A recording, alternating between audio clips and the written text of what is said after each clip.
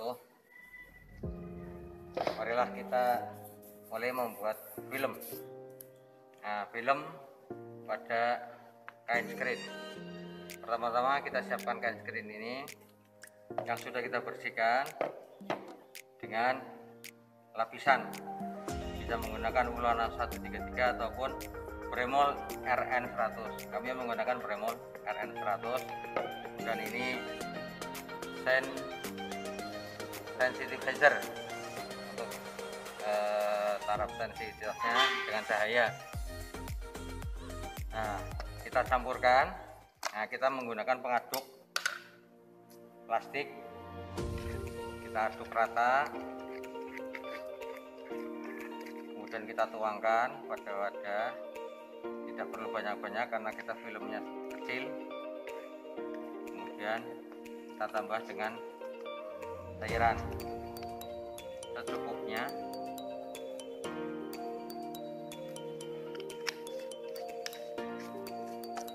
kita aduk sampai merata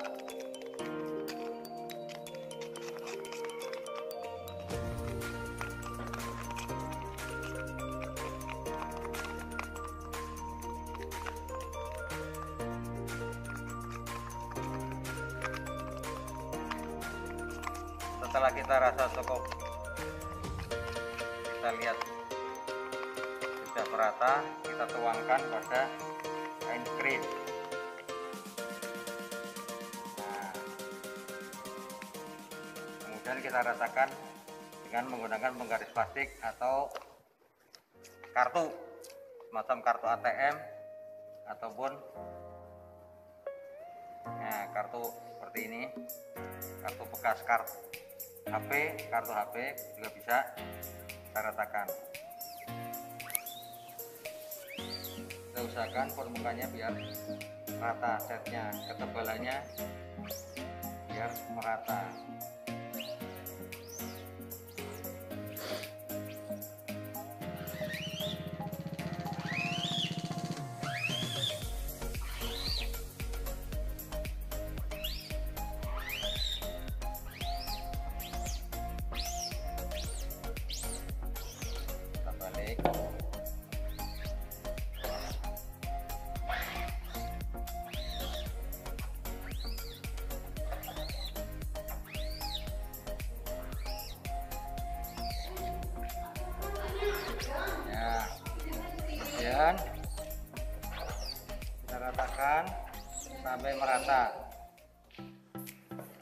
Setelah rata kita berikan pemanas sampai kering.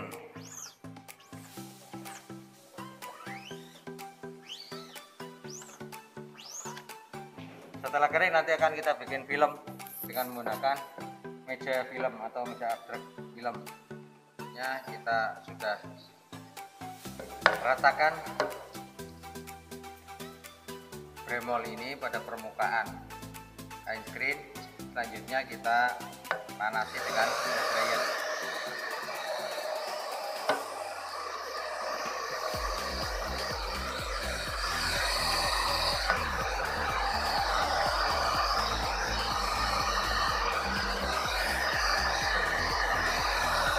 setelah kita anggap panas setelah kita anggap kering kemudian akan kita lanjutkan pada penempelan motif atau penempelan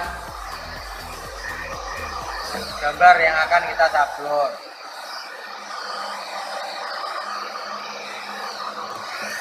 kita pastikan kain screen ini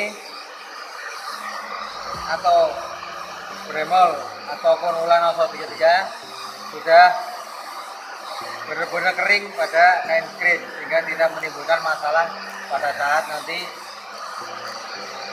penyemprotan dengan menggunakan air. Kalau belum kering kemungkinan akan rontok semuanya. Kemudian saya ulangi ini adalah pencampur dari Bremon. Kalau terlalu banyak akan cepat reaksi sehingga akan cepat menjadi kering baik langkah selanjutnya adalah mempersiapkan gambar motif yang akan kita bikin filmnya di sini. Ini kain screen sudah kering. Ulona 133 atau kami pakai Bremol. RN 100 ini sudah kami head dryer. Sudah dikeringkan. Kemudian kita siapkan motifnya. Kertas ini akan saya tempel kasih air eh air kasih minyak. Sorry sorry. Kasih minyak. Diambil minyaknya. Ya. Teman-teman bisa lihat kita tempel kita balik. Nah. Untuk memudahkan nanti pada saat pembuatan film.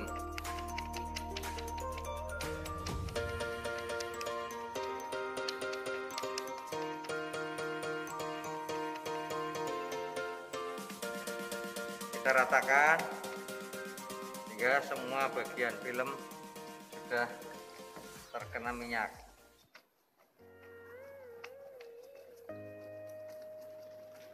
Semua motif sudah kita basahi dengan minyak.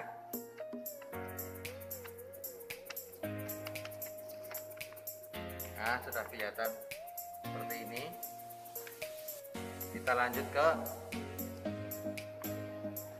pembuatan film dengan menggunakan dengan menggunakan meja aktruk hati-hati teman-teman pada saat kita membuat jangan sampai kebalik. Kalau kebalik pada saat kita sablon tulisannya tidak terbaca atau terbalik.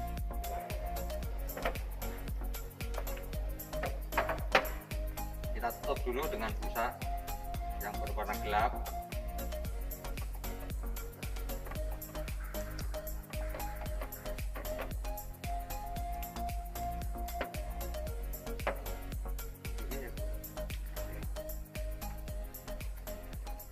tempel. Tengah-tengah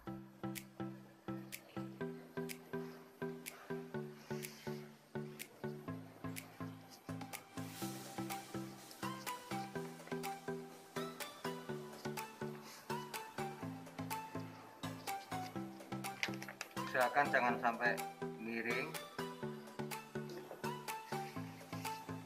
Ya. Kemudian kita balik kita taruh di kaca dan kita tutup.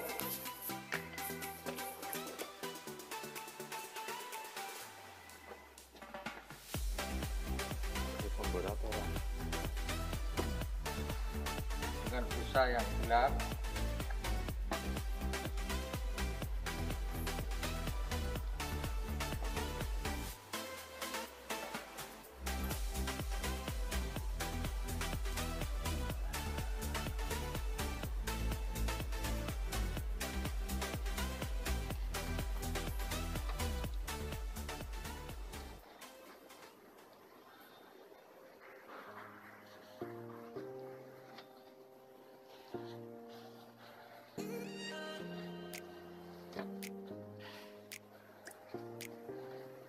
baru kita nyalakan.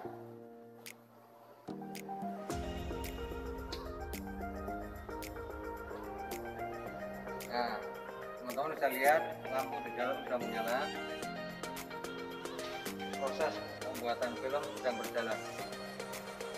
Kita lanjutkan. Setelah kita lakukan abstrak dengan menggunakan meja abstrak dengan menggunakan lampu TL kita lanjutkan untuk penyemprotan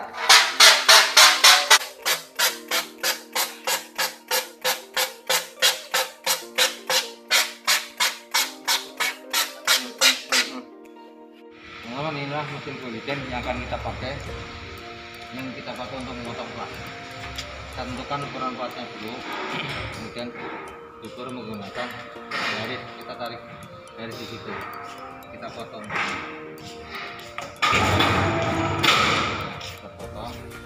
kita masih menghaluskan uh, plat yang akan kita sablon terutama pada tepi biar tidak tajam kita amplas dulu. Kita haluskan agar pada saat menarik rakel tidak sampai sobek atau merusak kain screen instruksi ataupun arahan dari pembimbing kita Pak Kuku dan Pak Muji menggunakan cat. Kami tidak menggunakan cat tapi menggunakan lakban. Kami tutup di belakangnya untuk apa menghindari kontak dengan uh, larutan etsa nah kita langsung uji cobakan pada plat yang sudah kita amplas. Kita taruh di bawahnya. Kemudian kita coba untuk melakukan pengeksaan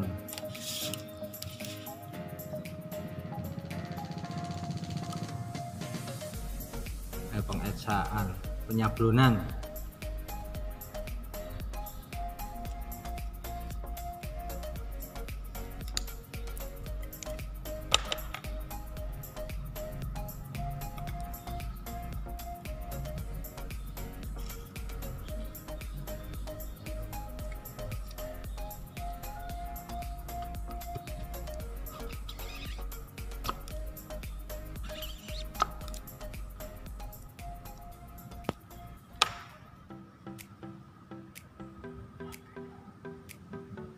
bisa.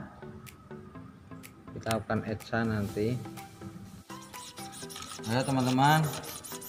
Ini saya sedang membersihkan kain screen yang tadi sudah kita pakai dengan menggunakan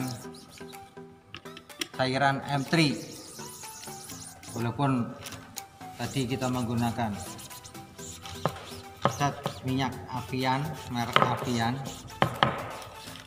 tapi dibersihkan dengan menggunakan M3 masih bisa bersih. Ntar bisa bisa lihat sendiri. Ya ini hasil gambar yang ada kita pakai. Sudah kita pakai dengan cat minyak avian dan ini saya bersihkan. Ternyata bersih juga. Seharusnya mungkin menggunakan thinner kami coba dengan menggunakan dengan menggunakan apa larutan M3 kita tarik.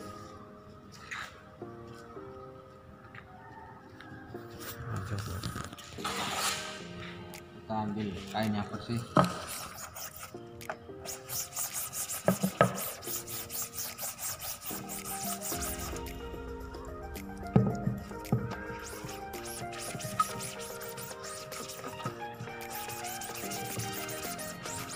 setelah itu kita bersihkan dengan menggunakan sabun atau sunlight. Ya.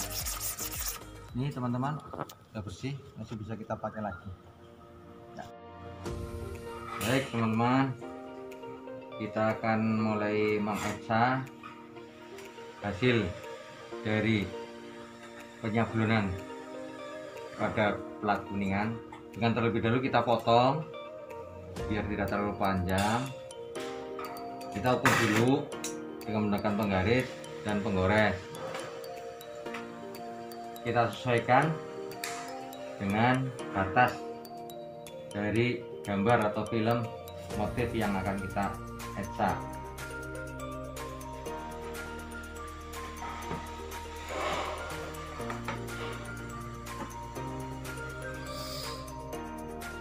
nah kita tandai.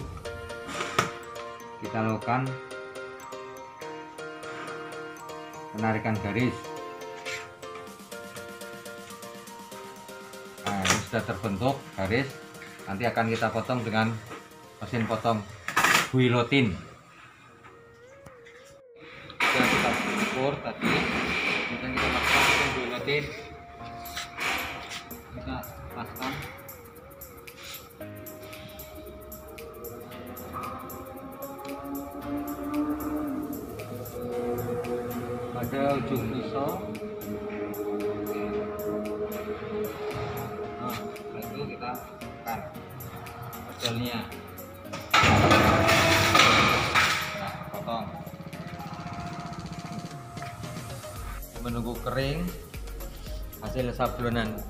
tadi kita mencoba untuk membuat larutan ECA. Tadi sudah saya jelaskan bahwa kami hanya membuat setengah liter. Ya komposisinya H2O atau air 350 ml ini sudah ada di sini. Kemudian H2O 2 50 ml kemudian HCl nya 100 ml sehingga total 500 ml atau setengah liter. Kita lanjut kita ambil 100 ml ini sudah ada takarannya angka 100 ya kita tuangkan 100 ml HCl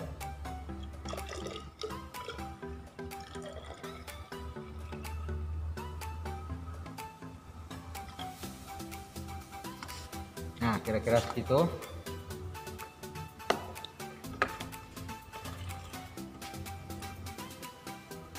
tuang dalam air tadi. Kemudian kita tambahkan H2O2 sebanyak 50 mili berarti di sini.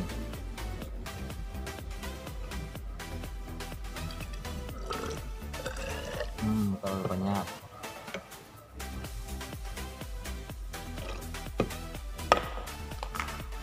Karena sifat dari H2O2 H2O2 adalah hanya katalis tidak terlalu banyak. Masih kelebihan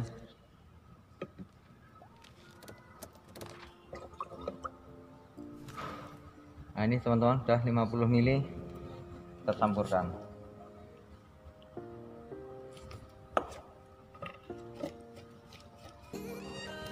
larutan sudah siap untuk kita pergunakan. Kita goyang-goyang dulu biar merata nah setelah itu kita baru ambil plat yang akan kita etsa dengan terlebih dahulu pada bagian belakang plat akan dikasih lakban sehingga tidak bereaksi langsung dengan larutan etsa itu sendiri. Nah kita sudah mulai persiapan melakukan proses etching atau mengetsa ini larutan sudah kami campur sesuai dengan pencampuran kemarin. Persiapannya adalah nampan benda kerja yang akan kita etsa yang sudah kita lapisi dengan lakban kemudian alat pelindung diri sarung tangan karet lakban kita pakai lagi. Ini teman-teman kita taruh di sini. Kemudian kita tempel dengan alasnya.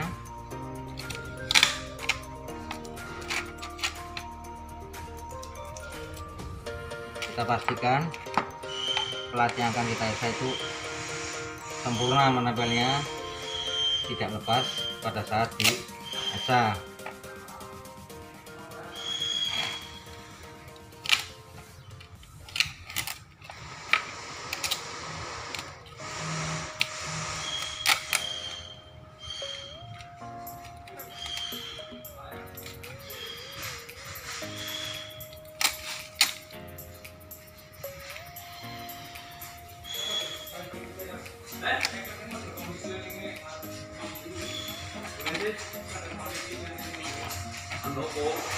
sudah kita lakukan ini.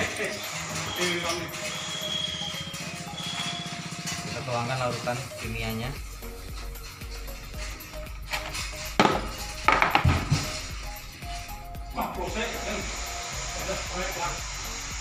Larutan setengah liter.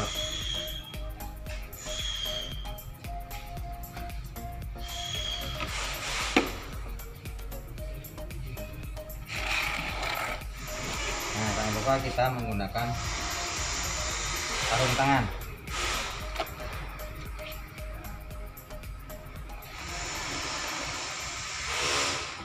Agar kita terlindung dari larutan HCl dan H2O yang sudah kita campur dengan air.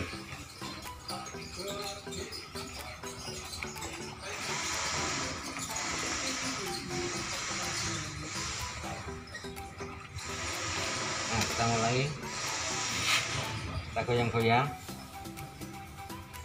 Sampai sudah kerja terkikis sesuai dengan kebutuhan kita. Ini sudah muncul reaksi berupa gelembung pada permukaan pelat. Ini berkisar 10 sampai 15 menit atau mungkin lebih tergantung kepekatan larutan kalau larutan campurannya bagus maka tidak akan berlangsung lama pengesahannya karena sudah banyak yang terlibat saya menggunakan ketebalan pelat 0,6 mm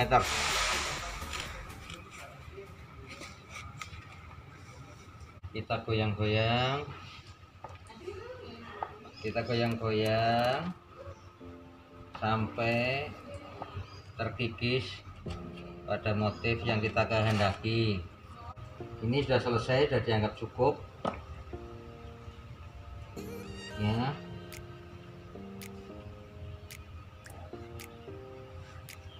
Kita kumpulkan dulu sisa larutan. Nanti akan kita netralisir kemudian baru dibuang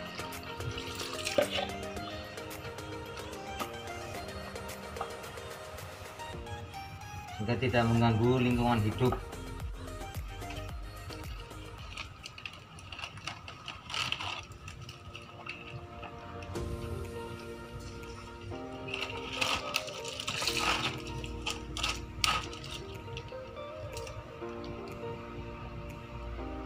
Sudah cukup kelihatan tebal kita bersihkan tinta dengan bensin nah setelah itu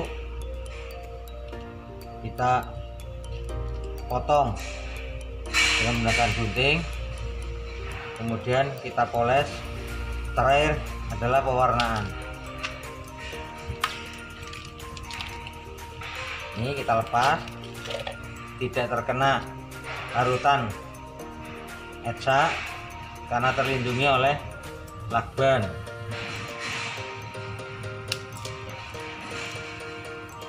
ini hasilnya.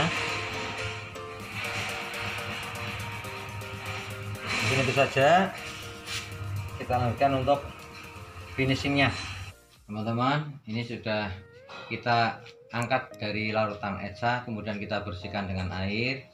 Kita lepas lakban yang menempel pada plat kuningan. Kemudian kita lap dengan lap yang bersih kering sehingga kadar airnya hilang. Nah setelah itu kita tuangkan bensin pada tempat. Ini berupa mangkuk. Kemudian kita celup bensin ini. Nah kita usapkan kemudian kita pakai kain kita lap. Catnya akan terkelupas. Setelah ini baru kita poles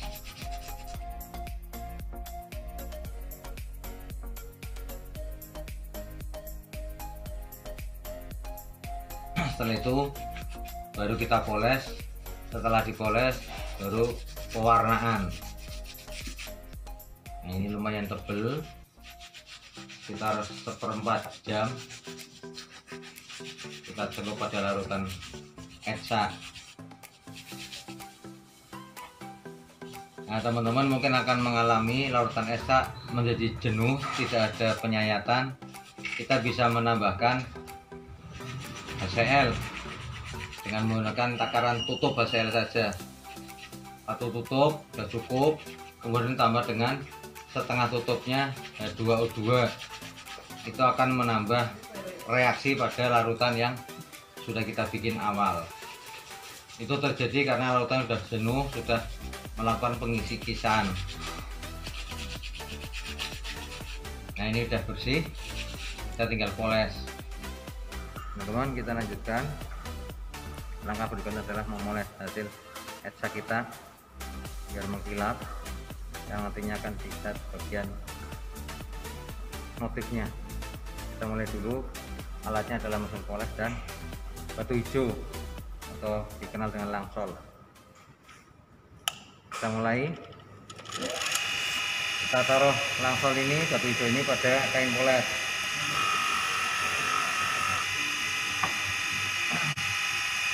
setelah itu kita tempelkan plat kuningan tadi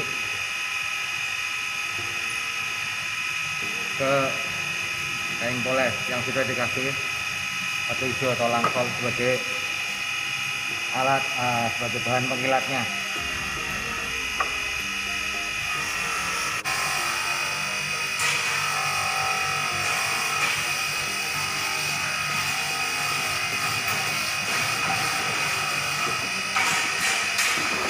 nah mengkilap tinggal kita bersihkan dengan larutan bensin. Teman-teman kita lanjutkan. Langkah berikutnya adalah memoles hasil etsa kita biar mengkilap. Yang nantinya akan dicat bagian motifnya. Kita mulai dulu. Alatnya adalah mesin poles dan batu hijau atau dikenal dengan langsol. Kita mulai kita taruh langsol ini batu hijau ini pada kain poles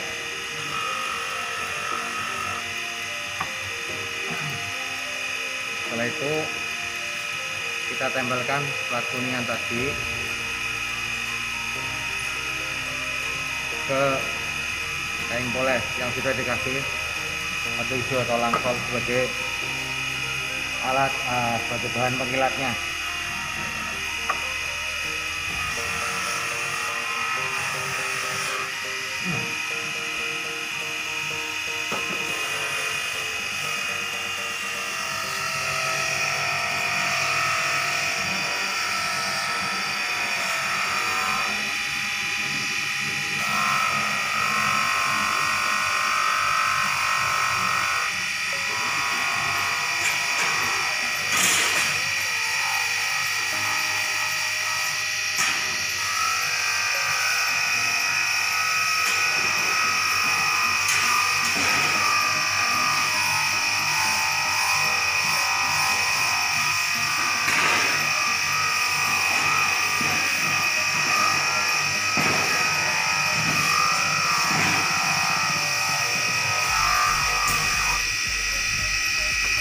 melihat perbedaannya. Yang sudah kena poles dengan ditambah bahan pengkilap atau langsol batu hijau. Ini yang belum. Teman-teman bisa melihat perbedaannya. Kita lanjutkan untuk memoles satunya ini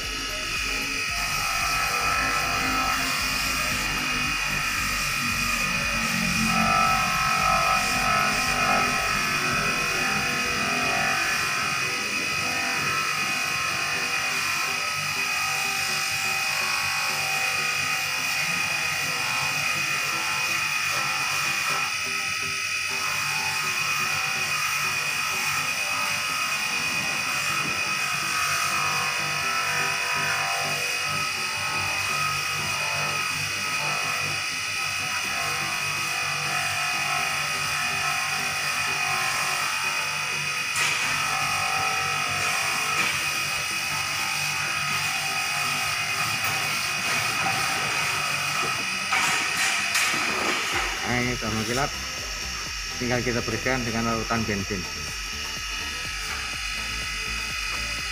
Lanjut dengan membersihkan lemak langsung larutan bensin.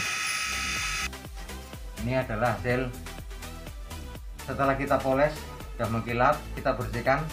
Kotoran sisa dari polesan dengan menggunakan larutan bensin. Seperti pada awal kita membersihkan cat nah ini warnanya menjadi hitam ya. Larutan atau serbuk bekas polesan. Kita tadi menambahkan dengan bahan batu hijau atau langsol merek langsol. Mungkin teman-teman ada yang menggunakan beraso nah kalau kita menggunakan beraso terlalu boros karena dia cairan sehingga akan lompat. Ikut putaran. Nah. Teman-teman sambil membedakan. Ini yang belum dibersihkan. Ini yang sudah dibersihkan dari kotoran bekas serbuk polesan nah ini menjadi hitam begini. Kita bersihkan dua-duanya. Kebetulan saya bikin satu lembar untuk dua motif eh dua motif dua benda kerja satu motif.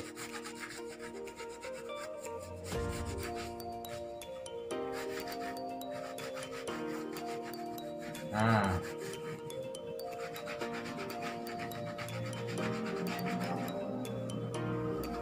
Kalau sekiranya kurang bersih masih ada hitam-hitamnya bisa kita ulang kita buang kotoran yang ada di mangkok ini kita pakai bensin yang baru lagi. Ini saya contohkan kita tuangkan pada tutup. Nah kemudian kita tumpahkan di sini. Kita gosok-gosok. Dia akan hilang. Yang tadinya warnanya hitam ada bekas. Langsol atau polesan yang sudah ini nanti juga akan tertutup oleh cat. Pada saat kita finishing memberikan pewarnaan di sini. Karena ini bagian yang e, timbul kemudian yang kotoran dari polesan masuk ke bagian yang cekung. Sehingga kalau kita tuangkan cat dia akan tertutup. Setelah itu langkah kita adalah memotong. Benda kerja ini membentuk motif dengan menggunakan gunting. Kita potong benda kerja ini sesuai motifnya menggunakan gunting. Setelah itu nanti kita rapikan bekas guntingan ini dengan menggunakan amplas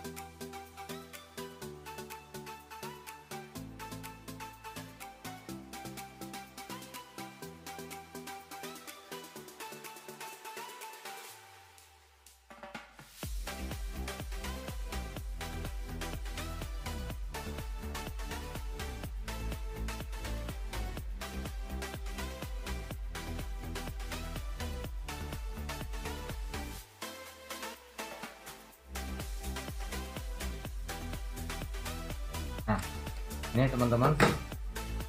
Nanti akan kita ratakan tepinya menggunakan palu lunak atau palu karet.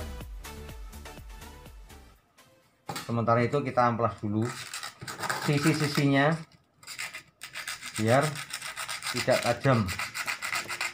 Seluruhnya kita amplas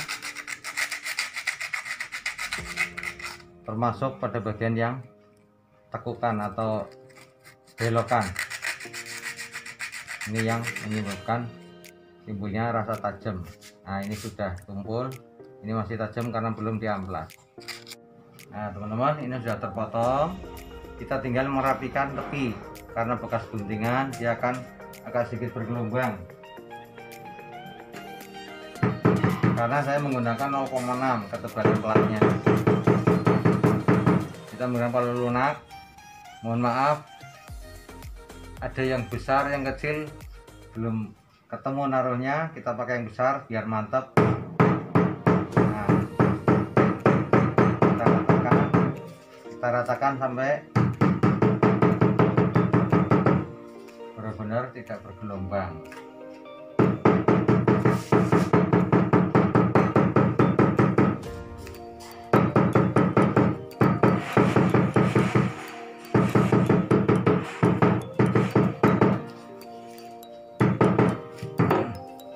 ini bagian belakang akan kita poles sedikit.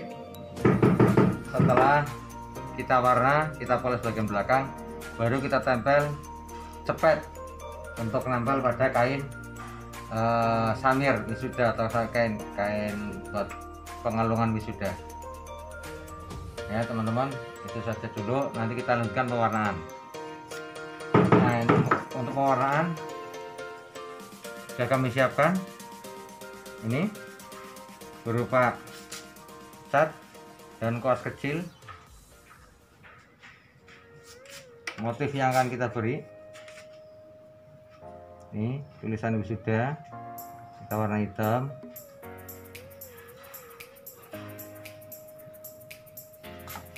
Dia akan masuk menyerap ke dalam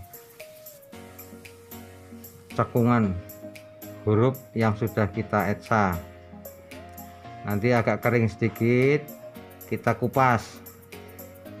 Kita kupas bisa menggunakan alat lain. Eh, maksud saya plastik atau yang lain yang tidak melukai plat kuningannya. Kita tutup dulu semua. Ini motif warna hitamnya huruf tulisannya hitam. Wisuda. Ini tahun 2020 garis miring 2021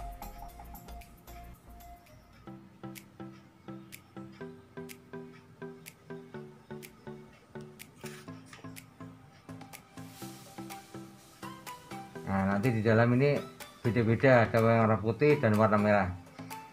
Ini hanya untuk menunjukkan pekerjaan lanjutan setelah dipoles. Pewarnanya menggunakan cara seperti ini. Oke.